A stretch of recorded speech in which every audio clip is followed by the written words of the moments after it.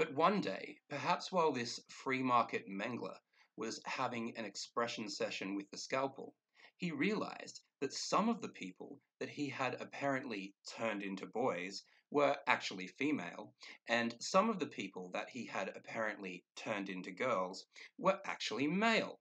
Well, if it isn't my old friend, Mr. McGregor, with a leg for an arm and an arm for a leg.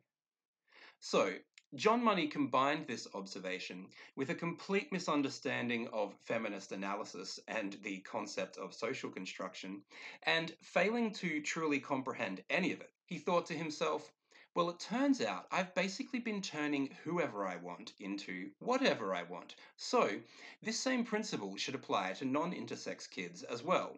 His eyes then flipped over into dollar signs, and his head made the sound of a cash register opening. The big problem for the good doctor was that while the medical establishment was ready to throw intersex kids to the wolves, no one was ready to let him fuck up a fully human, non intersex baby just yet. So he had to stick with filleting baby X Men for a little while longer. But one day, the good doctor got a lucky break. His chance came when a woman took her twin boys to be circumcised at the local hospital, where they were using some weird circumcision technology that involved burning with electricity. Lo and behold, the doctors accidentally burned one of the kids' dicks off. This child's name was Bruce. His mother was distraught and didn't know what to do. A short time later, Bruce's mother saw John Money on the TV talking about how it's possible to turn a boy into a girl because, again, he doesn't really understand what socially constructed means. But neither does anyone else, so the parents sign up and John Money starts working his creepy brand of neoliberal black magic.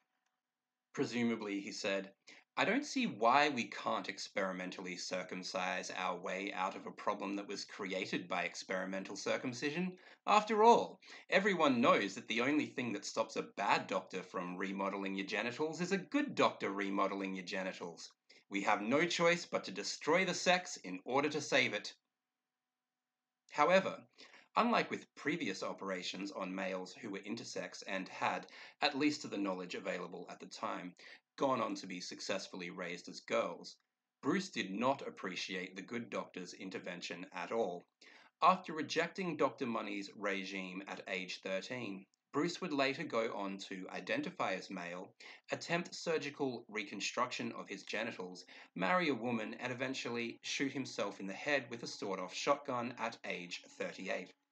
Of course, after the fact, everyone from the people involved in the experiment to the wider medical establishment knows that this project was a complete failure. However, the sexist assumption made by the broader culture is that the operation didn't work this time because Bruce was quote unquote really a boy. They completely missed the point. They think the reason he wasn't attracted to males and he didn't like femininity was because his real boy brain was telling him not to. The problem with this is that plenty of real boys are attracted to males and like things that are considered feminine. If this happened to be true of the boy John Money was experimenting on, the medical establishment would have had no option but to assume that the experiment worked which is another way of saying that the logic of the experiment erased homo and bisexuality. homo, yes. Sexual, ah!